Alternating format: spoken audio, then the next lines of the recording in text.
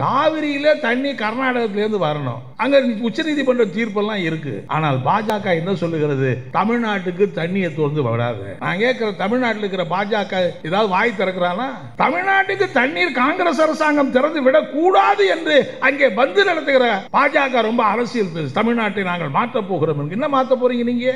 அண்ணாமலை வந்து இங்க ரொம்ப அரசியல் பேசுறாரு. ஆகவே நடைபயணத்தையே கொச்சைப்படுத்துகிற முறையிலே தான் அந்த பயணத்தை துவங்கினார்கள். அது வேற அமித்ஷா வந்து துவக்கி வைக்கிறார் அங்கிருந்து. மணிப்பூருக்கு போனா அங்க போறதுக்கு அந்த மா- அந்த கபோதிக்கு நேரம் கிடைக்கல. ஆனா என்னன்னா இங்க வந்து பாத்தீங்கன்னா அவர் பாத யாத்திரை துவக்கி வைக்கிறதுக்கு அமித்ஷா அங்கேருந்து வர்றாரு. தமிழ்நாட்டில் ஆட்சி மாற்றத்தை ஏற்படுத்துவதற்கு இந்த பிரச்சார பயணம். மற்றவர்கள் மீது ஊழல் குற்றச்சாட்டு இருக்கிறார்கள் ரெய்டு நடத்துகிறார்கள். முந்தா நாள் பார்த்தா ஜெகதேசன் வீட்டில் ரெய்டு நேத்து பார்த்தா ராஜா வீட்டில் ரெய்டு அதுக்கு முன்னாடி பார்த்தா செந்தில் பாலாஜி வீட்டில் ரெய்டு நீங்க ரெய்டு நடத்துக்க நான் நான் என்ன கேட்கிறேன் அது என்ன ரெய்டு நடத்துறதுன்னா உங்களுக்கு எதிர்க்கட்சி தலைவர்கள் வீடு தான் ரெய்டு நடத்துமா? ஏன் உங்க கட்சியில் இருக்கிற ஆள் ஊழலே செய்யலையா?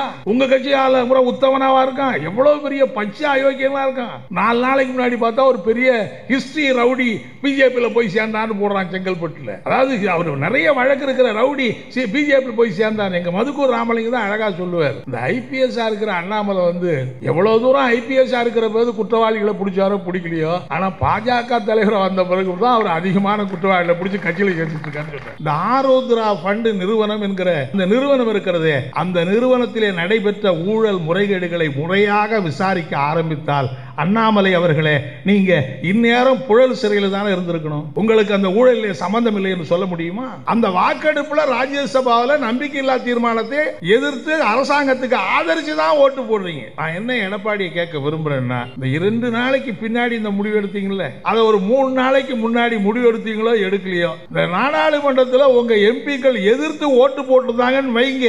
மோடி ஆட்சியே இந்நேரம் முடிஞ்சிருக்குமே. அந்த வாய்ப்பு உங்களுக்கு இருந்ததே. யாருக்கிட்ட நீங்க சண்டை போடுறீங்கன்னே புரிய மாட்டேன் அண்ணாமலையா உங்களுக்கு முக்கியமான எதிரி?